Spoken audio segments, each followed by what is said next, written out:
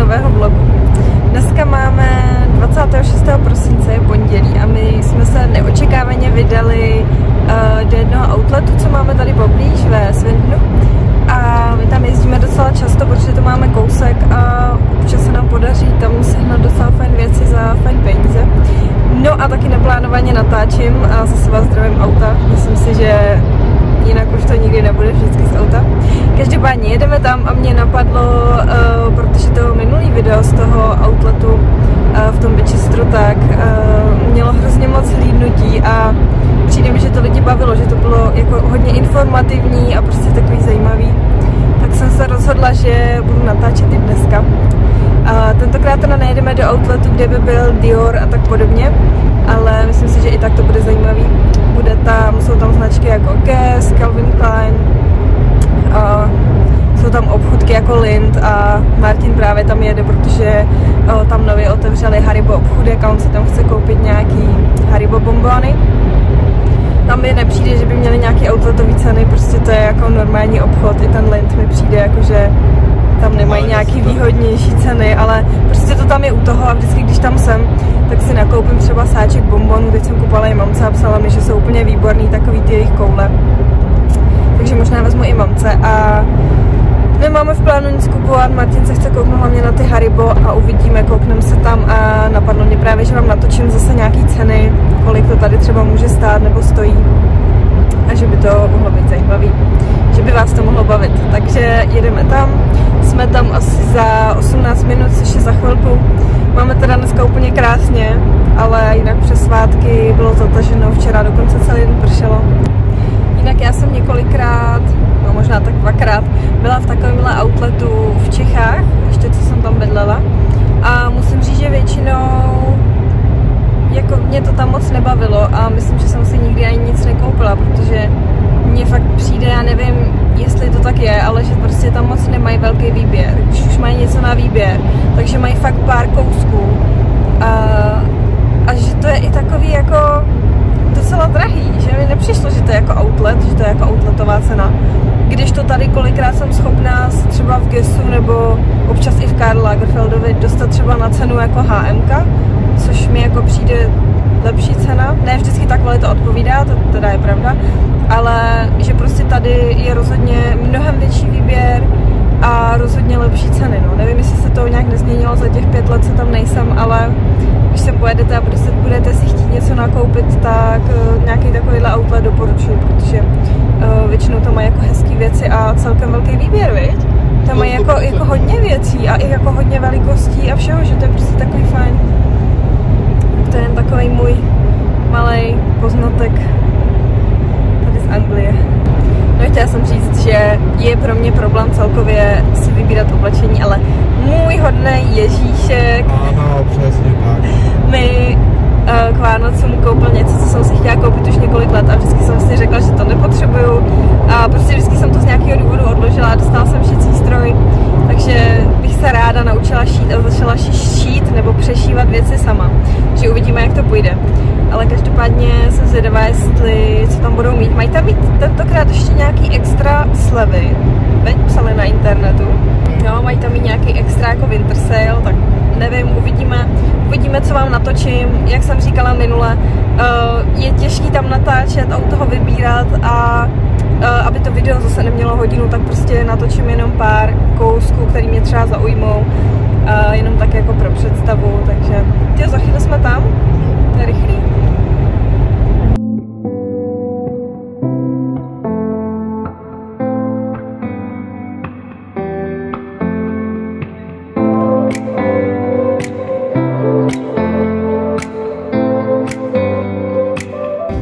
Jinak zrovna tady ty hezký bodky, co mám, jsou kožený a jsou z Gessu. Guess teda většinou podle mě jako neprodává moc kvalitní boty, ale tyhle fakt jsou skvělý a jak říkám, jsou kožený, takže když se o ně budu starat, tak mi vydrží dlouho. A ty jsem právě sehnala tady v tom outletu a myslím, že původní cena byla nějakých asi 120 uh, liber, nevím, nejsem si jistá. A vím, že byly ve slevě za 40 a já jsem hrozně váhala, jestli si je mám vzít. A pak mi pro ně šel Martin a když platil, tak chtěl jenom 20, což si myslím, že 20 liber za kožený boty je úplně parádní, skvělá cena. a jsou moc hezký, tak to sice asi nejde vidět, ale moc z nich úplně radost vždycky hrozně ráda nosím, takže občas se to dají pořídit ty super věci. že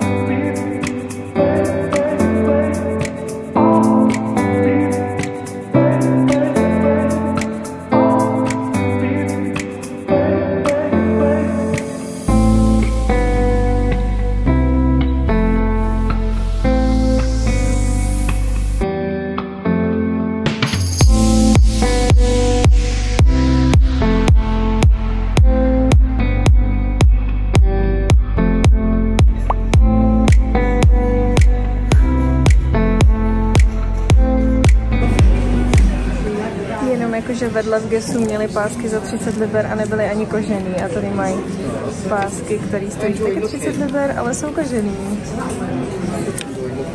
Tady jsou teda nějaký pánský, ty stojí trošku víc, ale jinak jako za stejnou cenu i když nejsem úplně zastánce kůže, ale jako jak dlouho vám to vydrží, kort pásek, který se prostě namáhá, jo.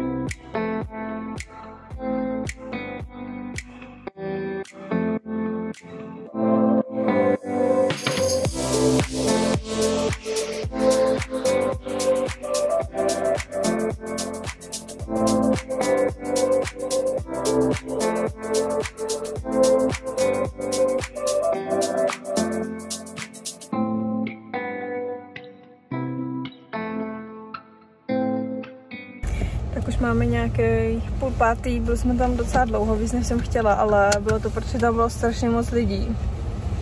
Takže jsem ráda, že už jdeme domů, protože jsem ani nečekala, že tam bude tak lidí. Podle mě jsem nikdy nezažila, aby tam bylo tolik lidí, byla to hruza, jsem ráda, že jdu domů.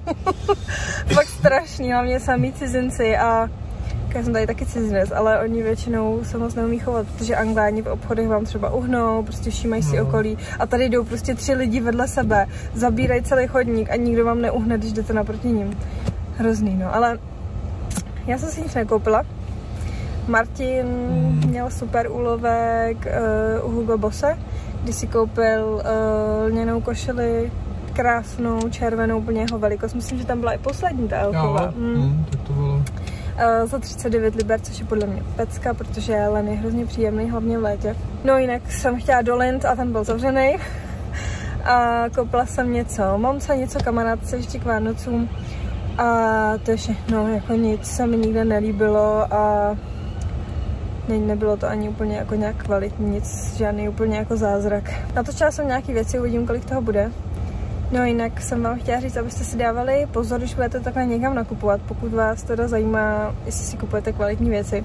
Já jsem se za ty roky, protože mám prostě hrozně ráda módu a oblečení a tak, tak jsem se naučila jako rozpoznávat, které věci třeba na první pohled, na první dotek prostě poznáte, že je něco kvalitního a kdy není. Takže nekupovat věci jenom protože jsou ve slavě, anebo protože to je určitá značka.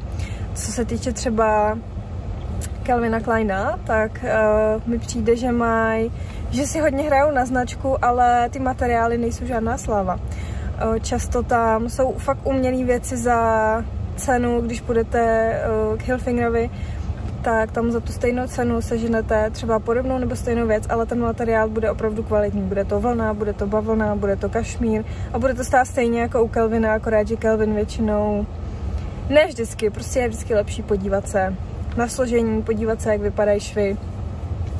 A tak, občas se tam dají sehnat fajn věci, což se stalo zrovna teď. Někdy tak odcházíme úplně s prázdnou, ale někdy, když má člověk štěstí, tak uloví takovýhle nějaký úlovek za fajn cenu a bude ho mít ve skříni dlouho a dlouho, protože když to je prostě len, bavlna a je to kvalitně ušitý, tak to prostě vydrží. No. No, takže bych chtěla apelovat na lidi, aby si přemýšleli, než si něco takového koupí. Jsem určitě člověk, který nakupuje ve fast fashion, protože prostě jako s mým stylem těžko nakoupím někde jinde, taky tam nakupuju, ale no je to pravda, no, ale, ale jako když můžu, tak si radši vyberu, a ani nejsem žádný milionář, abych si kupovala jenom drahý značkový věci, nebo i kvalitní věci můžou být drahý, z kvalitních materiálů, ale prostě zajímám se, zajímám se o to, co si kupuju a když je to v mých silách, finančních i jiných, i v tom, co prostě nabízí obchody, tak se snažím vybrat si věc, která mi vydrží. A já jsem většinou ten člověk, který jako si nepotřebuje kupovat spousty oblečení každý měsíc, radši si koupím jakoby uh, kvalitní kousky, který se mi budou líbit a který budu milovat a který budu nosit prostě většinou do roztrhání. A to je právě taky můj problém a důvod, proč jsem chtěla ten šicí stroj, protože mám spoustu šatů, který miluju a už na nich jde znát, že je mám dlouho a nosím je hodně.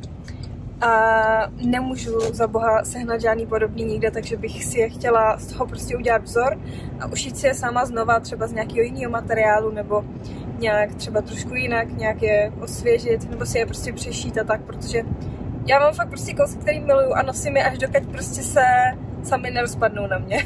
takže, takže tak, no. A teď už teda jdem domů, už se těším, bylo to hrozný, moc lidí na mě. Takže doufám, že jste se s náma dneska užili. Budu ráda, když mě podpoříte tím, že mě budete sledovat, kouknete na můj blog nebo Instagram a dáte mi vědět, jestli vás tahle série nevím, jestli to nazvat sérií, ale jestli vás prostě tady to z těch obchodů baví, protože jsem přemýšlela, eh, že bych vás vzala třeba i do Lidl se ukázat vám, kolik tady stojí třeba jídlo a tak. A, takže doufám, že vás to bavilo, že jste si to užili, že to byla sranda pro vás. Beru to tak, že to je prostě sranda nebo taková zajímavost. A díky, že jste se dívali a mějte se krásně, uvidíme se u nějakého dalšího videa.